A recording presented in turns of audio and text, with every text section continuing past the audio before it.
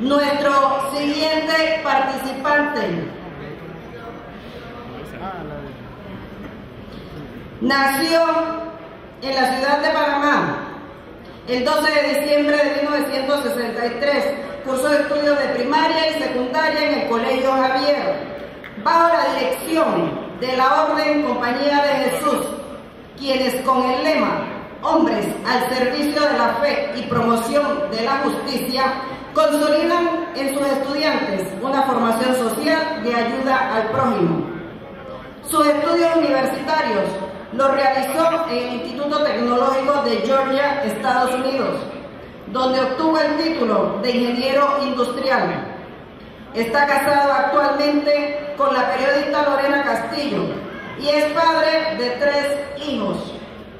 En el sector privado ha demostrado su capacidad profesional al frente de una de las empresas líderes del país, Varela Hermanos S.A. Allí se desempeñó como directivo desde 1985 y fue vicepresidente ejecutivo hasta enero del 2008. Con una gran misión social desde el sector privado, Varela apoyó e impulsó proyectos a favor de la cultura, el deporte, la educación, el folclore y el medio ambiente en el ámbito político es miembro fundador del Partido Anunfista, denominado Partido Panameñista, desde el 2005. Formó parte de su directorio nacional desde 1992 hasta 1998. Se desempeñó como coordinador y jefe de campaña presidencial en 1994 y 1999 respectivamente desde el 2006 es el presidente de ese colectivo político y fue elegido candidato presidencial en el 2008. Fue reelecto presidente del Partido Panameñista en julio del 2011 con el 97% de los votos. A inicio del 2009, con el apoyo de las bases del Partido Panameñista, Varela cedió su candidatura presidencial a cambio de la oportunidad de hacer realidad las promesas sociales del plan de gobierno de su partido. Fue electo vicepresidente de la República en julio del 2009 y en solo dos años de gestión en gobierno cumplió las promesas sociales que había hecho antes de entrar a una coalición, incluyendo el programa 100 a los 70, el aumento del salario mínimo, el proyecto Curundú y la beca universal, entre otros, que hoy son una realidad y han mejorado la vida de cientos de miles de panameños. El 17 de marzo del 2013 se convirtió en candidato oficial a la presidencia de la República por el Partido Panameñista, tras haber obtenido más del 99% de los votos en las primarias del partido. El 25 de agosto fue proclamado candidato de la Alianza El Pueblo Primero que se encuentra formada por el Partido Panameñista y el Partido Popular, con el respaldo del movimiento político Los Gallos de Verdad y sectores independientes del país.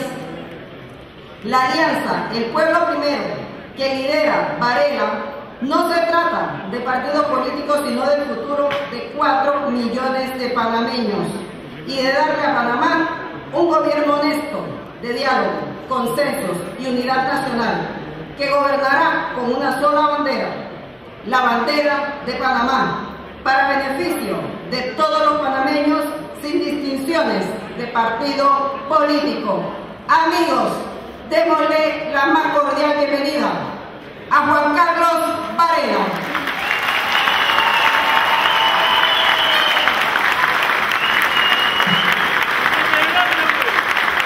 Muchas gracias. Buenas tardes a todos. Muchas gracias por su presencia en los terrenos de esta hermosa Feria de Azuero, la que de niño caminaba con mi tío, el doctor Ezequiel Rodríguez, que fue de Desarrollo Pecuario, me ayudaba a sembrar muchos estos árboles y que siempre tenía un lema que decía por la vuelta al campo. Venir muchos años después a disertar el tema, de verdad me llena mucha emoción. Así que, honorable señora Rosa Villarreal Martínez, presidenta nacional del Colegio de Agrónomos, ingeniero agrónomos, honorable señor Fernando Aramburú Porras, presidente de, la PEDE, mi esposa Lorena Castillo, ex ministro presente también Laurentino Cortizo, Hola, señor Rodrigo Cámara, presidente del Consejo Técnico Nacional de Agricultura, señores del sector pecuario, compañeros candidatos a la presidencia de la República, Juan Carlos Navarro Fernando Solís, al profesor Juan Jovanet, a quien felicito por esa presentación, por la valentía con la que lo hizo y de veras la admiración y respeto por la forma. Muchas gracias a la FEDE por permitirme estar aquí en la Feria Azuero, en este terreno, compartiendo un tema tan importante como es el futuro del sector agropecuario. Y quien se lo dice es una persona que viene del sector. Mi abuelo escogió esta tierra de las minas de Herrera hace 110 años para iniciar su, su vida en estas hermosas tierras parameñas sembrando café. Mi padre amó la ganadería y en mis tíos, mi padre y mi abuelo llevo esa sangre campesina de trabajadores del campo, personas que han sembrado caña, café, ganadería, leche, puerco, sorgo, maíz. Así que conozco el sector agropecuario, soy parte de él y mi mensaje principal es que yo nunca le daría la espalda a mis raíces y donde yo vengo, que es el interior de la República.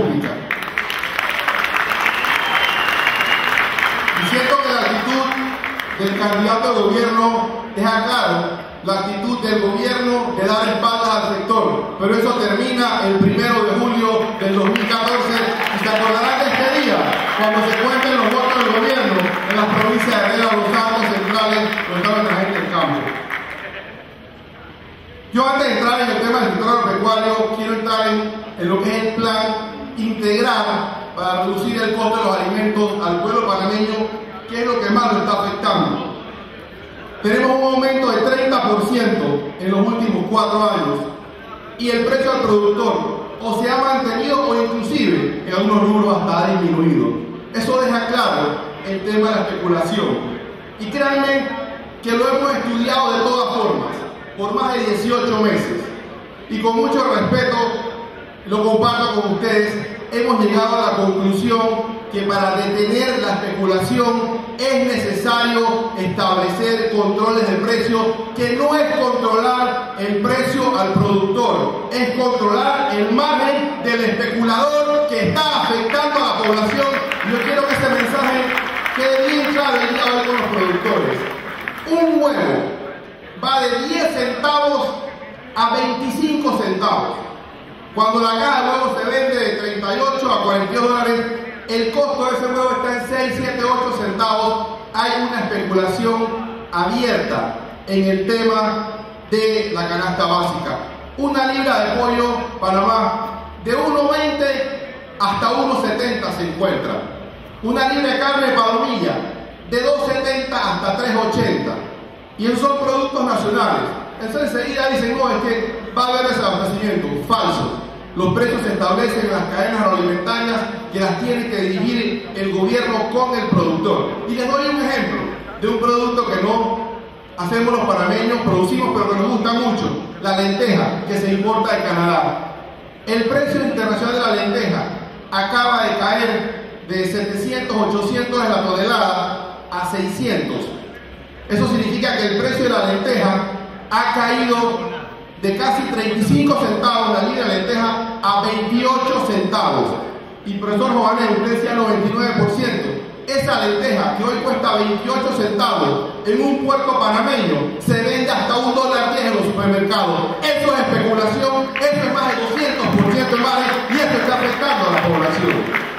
Y créanme, yo no lo digo por temas políticos partidistas, yo lo digo porque lo siento, porque cuando camino mi país veo a las personas contando a ver si cuando le alcanza, si compra un pollito para sopa y eso no es justo en un país tan rico como Panamá. Y llama la atención que Lima ahora lo tienen importando arroz, enfrentando sin que nadie controle el contingente, enfrentando al productor y vendiendo el arroz en su feria, pero no importa lenteja, porque la lenteja está en negocio. En la importación de arroz está enfrentar al productor, pero en la sí está negocio de traerlo a 28 centavos, empacarlo y venderlo en valor. Créanme que hemos llegado a la conclusión que vamos a usar el artículo 284 de la Constitución para establecer controles de precio de emergencia y evitar la especulación. Esto no tiene nada que ver con el productor agropecuario. Créanme que estaremos ahí para protegerlos, para defenderlos y para incentivarlos. Y se lo dice el hijo y el nieto de productores agropecuarios que llevan en su sangre esa sangre campesina que tienen ustedes también. Otro tema importante es devolverle al productor el sitial que se merece en la sociedad. Siento que eso se ha perdido y lo demuestra el gobierno con la actitud de su candidato Devolver al productor ese orgullo que tenemos nosotros por los hombres y mujeres del campo que se paran a las 4 de la mañana a ordeñar, a arrear el ganado, que están bajo ese sol fuerte. Eso es lo primero que tenemos que hacer, devolver ese respeto al productor agropecuario. El segundo punto, la construcción de mercados regionales permanentes para acercar al productor al consumidor y completar la cadena de frío, pero con esos mercados regionales permanentes, para que las personas no tengan que hacer filas, porque si el país tiene los recursos para incentivar el precio del arroz en las ferias de los sábados, que el pueblo le toca hacer dos o tres filas, entonces este país también tiene los recursos para asegurar que ese precio del arroz esté a un buen precio todos los días en todos los supermercados del país y se evite las largas filas que tiene que hacer la población. De eso se tratan los mercados regionales permanentes. Y el tercer punto, viendo ya puntualmente a nuestro sector, es el apoyo al sector agropecuario. ¿Y eso cómo empieza? Empieza inicialmente con una política de Estado. Que sepan ustedes, queridos productores presentes y los que me escuchan, una política de Estado donde el país tiene que producir los alimentos que tiene la capacidad de hacerlo, que los consume y los que más les gusta al panameño. Una política de Estado hacia que los principales rubros, leche, arroz, carne, puerco, pollo, maíz, sorgo, tomate, cebolla, papa, donde como productores somos eficientes, que haya una política de Estado que le dé estabilidad de precio y estabilidad de mercado a todos los productores para que suceda lo que está sucediendo en la leche. Por eso ha ido aumentando la producción de leche en el país, porque ahora hay estabilidad de precio y estabilidad de mercado del productor, que es lo que se necesita para el desarrollo del sector. Otro tema muy importante, el tema de la producción de alimentos no se puede convertir en un tema de política partidista y de clientelismo. Aquí los legisladores tienen que estar haciendo leyes y no trayendo créditos de Lima, manejando recursos del Estado, pidiendo crédito. Hay que despolitizar el sector agropecuario. Que el MIRA sea una institución técnica manejada por los técnicos en consenso con los productores agropecuarios. Que el MIRA sea una institución regente, técnica que eliminar esta política y también no solo la política, sino los intereses. Aquí antes los contingentes de arroz se importaban en cáscara y quedaba el subproducto y se le daba un respaldo a los molinos que compartían ese beneficio con los productores de arroz. Ahora se trae el arroz y se asigna de inmediato a los supermercados para que lo vendan. Y se trae arroz en cáscara que se le asigna a familiares de personas allegadas al poder para hacer negocios con la importación de arroz. Eso termina el primero de julio del 2014 porque es el compromiso tanto mío como estoy seguro de los candidatos que me acompañan hoy aquí.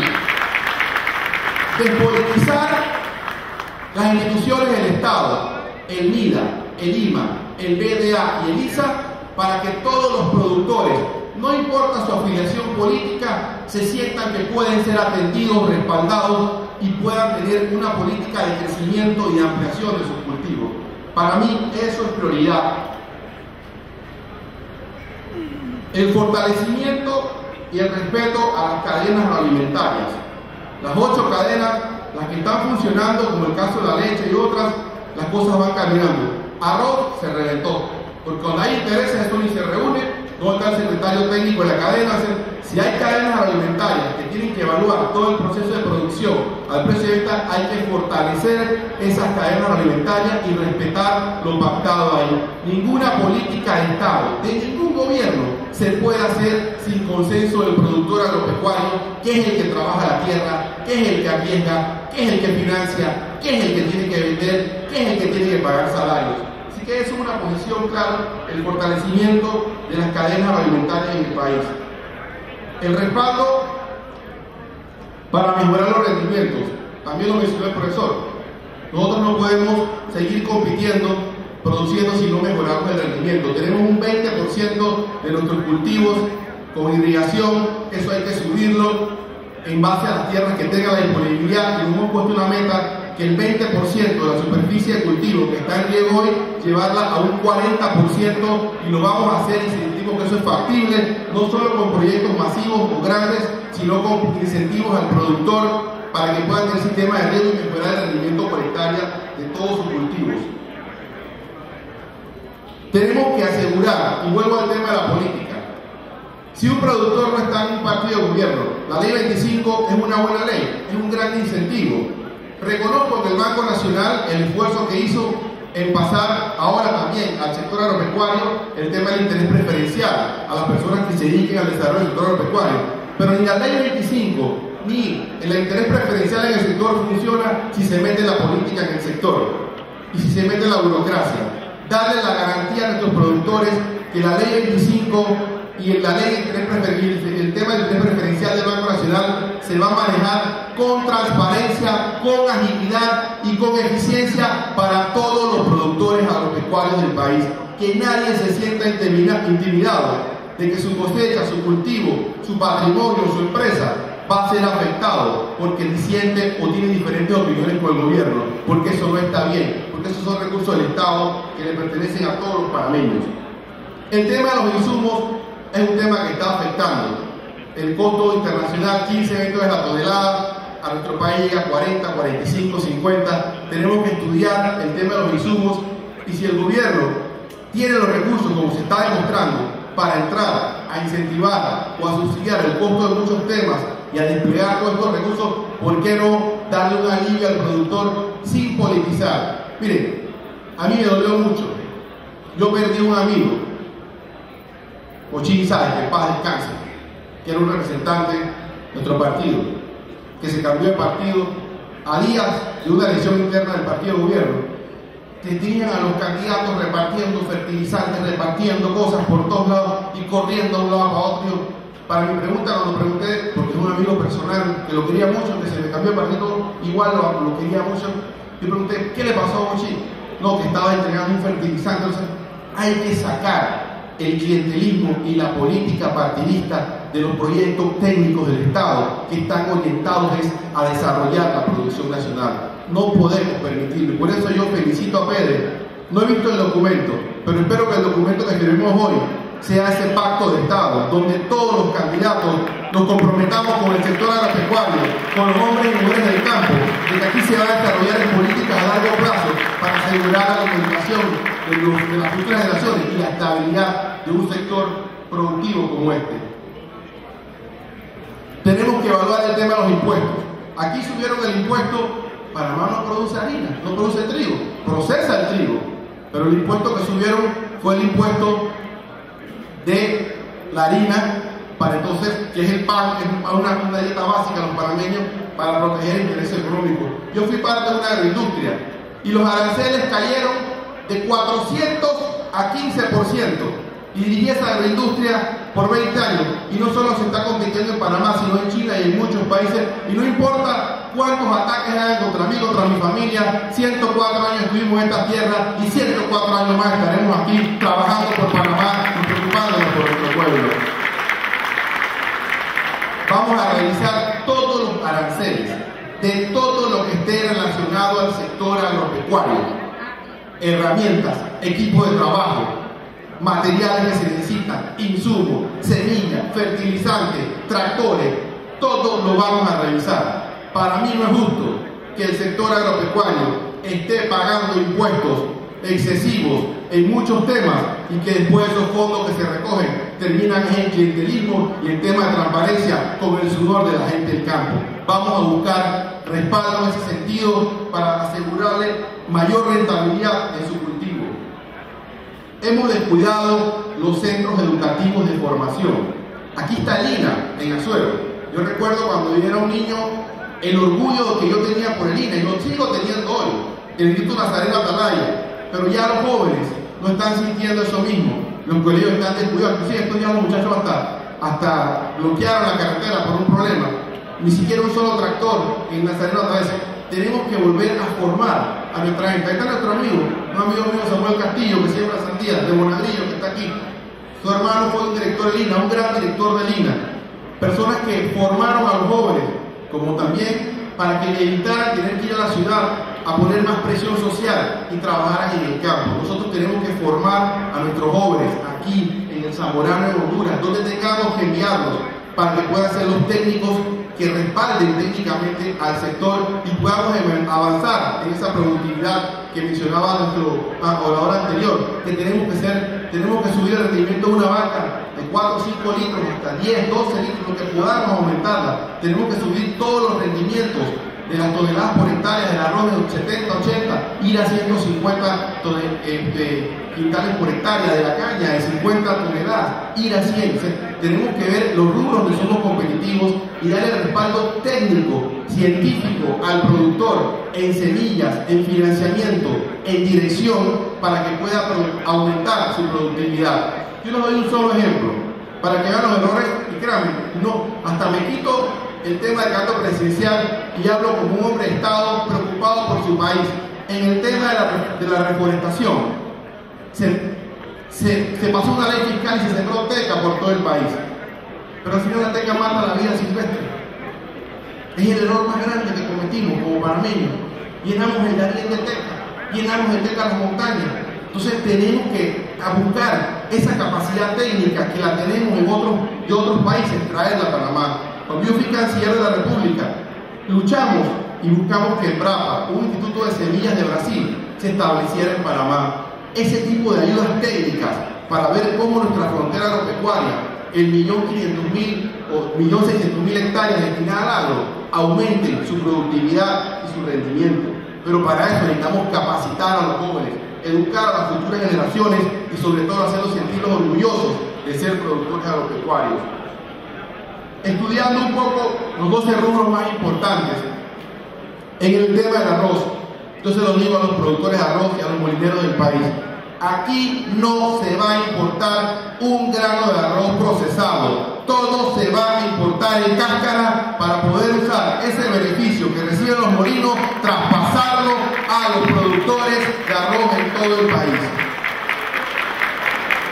Yo no quiero que pase lo que acaba de pasar con el poroto acaba de haber un problema en Argentina con la cosecha de poroto y la tonelada de poroto se fue de 800 dólares la tonelada a casi 2.000 dólares la tonelada. Entonces imagínense que sigamos en este relajo de que ya no somos deficientes sobre un millón doscientos mil de arroz, sino que seguimos abriendo la brecha, que no hay, que los continentes nadie sabe qué se está haciendo, que se reventó la cadena agroalimentaria, y entonces que pase algo en la cosecha de arroz de Tailandia, de Vietnam, y se duplique o triplique el propio del arroz. ¿Qué hacemos nosotros como el pueblo panameño que tiene el arroz como parte de su dieta básica? Y a mí me llama la atención algo, y por eso me preocupa cuando lo cuestionan a uno sin fundamentos. Yo estoy a favor de que por el tema ecológico Panamá algún día pudiera tener el famoso tema del etanol, pero a mí sí me preocupa que el incentivo al etanol que se le da a una empresa extranjera acaba de ubicarse en Panamá, cuando el costo internacional del etanol es de 70 centavos, entre los 15 centavos que da el gobierno, más los 30 o 40 centavos que pagamos los consumidores panameños, el incentivo subsidio es casi más de 55 centavos por litro de etanol, a 1,24 que lo estamos pagando los panameños. me llama la atención que por proteger una sola industria establecida se esté dispuesto a dar un incentivo que esté por encima inclusive del costo de una libra de arroz. Entonces, ¿qué queremos nosotros? ¿Más libra de arroz barata del pueblo o sencillamente, y, solo se le permite la importación porque no son ni siquiera autosuficientes de etanol a esa empresa porque vende un poquito de etanol? O sea, va a ser el negocio de vender lo que produce 1,24 y el negocio de importar a 70 centavos del mercado internacional y venderlo a 1,25. Eso termina el primero de julio del 2014 y ese tipo de incentivos se dio a los productores de arroz van para ustedes, para que este país aumente su producción de arroz y sea autosuficiente en un número tan importante como el arroz. Igual y repito, este no es el planteamiento de un candidato presidencial de un partido oposición, este es el planteamiento de un ciudadano orígenes en el interior, productor, que está preocupado en cómo se están manejando las cosas y que tenemos que conversarlas con toda lealtad con ustedes. En el tema de la leche, Panamá ha aumentado su producción de leche. ¿Por qué? Porque ahora hay plantas industriales que pueden comprar leche todo el periodo del tiempo y es un sector que está claro que podemos ser, eh, buscar mayor producción. Si hay un déficit de 120 millones de litros de leche, yo siento a los productores de leche que cuenten con el respaldo necesario técnico, financiero, económico, inclusive a los mismos ganaderos, porque somos autosuficientes en carne, exportamos inclusive carne, pero a los mismos ganaderos le hago un llamado a que vean el giro hacia el rubro también de leche, para que entre más ganaderos del país que tienen tierras fértiles para ganadería, lácteo, que hay buen precio, hay estabilidad del mercado, hay estabilidad en compra y de esa forma podamos todos avanzar en lo que es el segundo rubro que he identificado de potencial, como es el tema de la leche. Otros temas importantes, plátano, yuca, café, donde somos competitivos. También el maíz, que no somos tan competitivos, pero que sí es parte de nuestra cultura y tenemos que protegerla y tenemos que incentivarla. En el tema de todo lo que es pollo, carne, se lo ratifico a los productores, puerco, estabilidad de precio, estabilidad de mercado. El control del precio de emergencia no es con el productor, es, y vuelvo a repetir la palabra, es con el especulador. Identificada la especulación. ¿Ustedes se imaginan que uno ponga una denuncia por esa especulación que se da los alimentos y de aquí a que la Codeco falle, que la Corte falle, se van siete años? ¿Quién le devuelve la plata al pueblo panameño? ¿Y quién le devuelve la plata al productor? que no vendió lo suficiente porque la cadena comercial estaba especulando. Por eso este es un tema bien importante eliminar y combatir la, eh, la, especulación con mucha firmeza y con mucha valentía y por otro lado el incentivo y el respaldo técnico financiero al productor. Un tema que quería tocar para el productor pequeño es el tema del valor agregado. El próximo pilar de la economía, escúchenme bien hoy, el próximo pilar de la economía panameña, así como en su momento fue la ley que creó la zona libre, la ley que creó el centro bancario, la reversión del canal, el próximo pilar de nuestra economía es el turismo. Y esos turistas necesitan alimentarse. Y esos turistas van a llegar a centros cercanos a la producción de alimentos, a las tierras altas de Chiriquí, a las costas de Perací, a las costas del Pacífico congresano. El productor pequeño tiene que prepararse. Ya su mercado no solo va a ser ir a la ciudad de Panamá, sino subir los diferentes hoteles que se desarrollan en todo el interior de la República. Pero no solo suplir los productos que usted produce, sino empezar a darle valor agregado. ¿Qué es lo que está pasando con las queserías? Qué bonito ver cómo crecen las queserías, el productor de leche que hacía su propio queso, el productor de diferentes rubros que empieza a empacar sus productos, que empieza a llevárselos a los hoteles. Hay que empezar a buscar el valor agregado para buscar un mayor rendimiento y el gobierno tiene que dirigir con políticas claras la capacitación de nuestro productor para que pueda sacarle más fondos y más provecho a su cosecha y a los productos que ha elaborado. En el tema de la exportación, que fue un tema que tocó uno de los oradores también, no podemos que suceda lo que sucedió con el melón y con la sandía. Había un solo operador que se dedicaba al tema de compra de melón y sandía. El operador con fuerza, el operador colapsó y bajaron las exportaciones de melón y sandía y bajó la, exportación del país. Decenas o casi cientos de millones de veces se han perdido de exportación. El Estado tiene la responsabilidad, para eso está el Ministerio de Comercio. Si lo digo yo, que vengo de una familia de productores agropecuarios que toca luchar en mercado y exportar, tiene que hay que usar lo que es la diplomacia comercial de un país que es usar la fuerza del Estado para apoyar al productor a abrir mercados fuera de Panamá y no depender solamente de un comprador de turno que el día que no compró perdimos entonces todo nuestro cultivo de sandía y de melones. En ese sentido, tenga la seguridad que tanto el Ministerio de Comercio e Industrias, tanto Lima y todas las instituciones del gobierno van a estar para ayudar a comercializar los productos de nuestros productores y no para entorpecer la labor que tienen que hacer los productores agropecuarios del país y menos amenazar su seguridad económica como se está haciendo. Yo quiero compartir con ustedes mi respeto y mi admiración por el sector agropecuario del país. Quiero resumir en una política de Estado, en el respeto al productor, en la estabilidad del mercado y del precio, en la despolitización del sector productivo del país y de sus instituciones, en eliminar la política partista del clientelismo de un sector como este, la visión de darle a este sector lo que se merece. Quiero compartir con ustedes y dejar claro hoy que mi posición firme, por convicción, en regresar al tema del control de precios de emergencia, en base al artículo 284 de la Constitución de la República de Panamá y la Ley de 45 del 2007, que inclusive eh, fue aprobada en su momento, es para proteger al consumidor y para evitar la especulación y en nada va a afectar al productor. Vamos a respetar la cadena alimentaria, vamos a respetar lo que se parte en las cadenas alimentarias, vamos a dar los incentivos necesarios para el productor, vamos a despolitizar el manejo de la ley 25, vamos a despolitizar el manejo de los intereses preferenciales, vamos a devolverle el orgullo al campo, al productor nacional y sobre todo vamos a la esperanza a un sector al que se da la espalda y del cual vengo y del cual me siento orgulloso.